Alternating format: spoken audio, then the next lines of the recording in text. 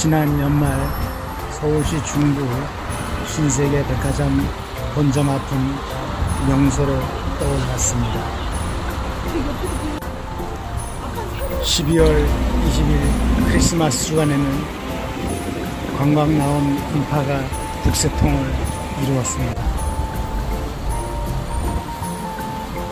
이유는 백화점 본점 외벽에 설치된 미디어 파사드 였습니다. 이를 보려고 남산 터널에서 나온 차량이 줄을 지어 우회전하고 있습니다. 이 영상은 마치 서커스 쇼를 보는 듯한 화려한 영상을 보여줍니다. 1회 공연이 3분 정도 이어지는데 외줄타기 쇼와 저글링 묘기, 코끼리 고개가 실물 공연처럼 펼쳐집니다. 마지막에는 매지컬 모멘트 for you 당신을 위한 황홀한 순간이란 멘트가 나옵니다.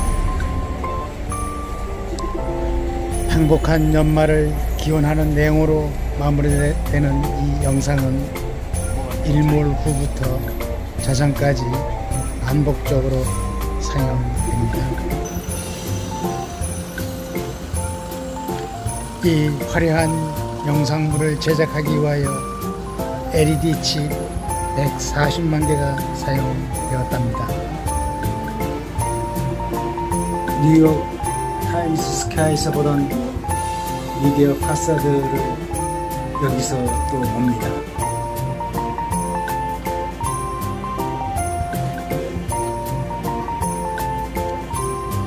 규모는 조금 작지만 예술성은 결코 타임스 스퀘어의 미디어 파사드에 결코 뒤지지 않습니다. 영상을 보여주는 미디어 파사드는 건물 외벽에 LED 조명을 설치해 건물 전체를 하나의 디스플레이어로 만드는 기술입니다. 이제 아, 오늘을 돌아서 백화점 전면이 보이기 시작합니다.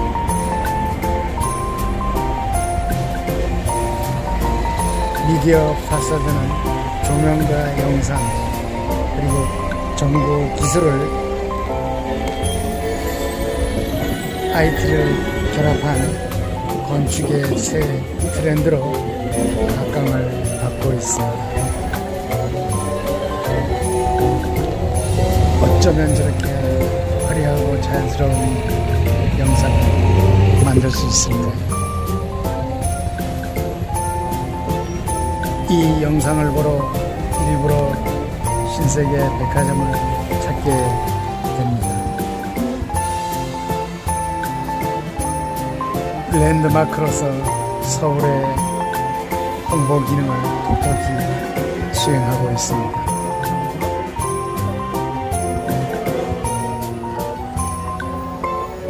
예술과 과학의 조화가 새로운 산업의 영역을 넓혀가고 있습니다. 지금은 서울 강남구 코엑스 일대를 국내 최초의 5개 광검을 자유 표시 구역으로 선정했답니다. 외벽 영상물인 미디어 파사드를 장려하기 위하여 서울시에서는 좋은 비싼 공모전도 개최한답니다. 불특정 다수의 시민을 대상으로 공공미술을 감상할 공연 기회를 제공합니다. 공공 미술을 통하여 코로나에 지친 시민들을 위로하고 경기도 활성화되길 기원합니다. 감사합니다.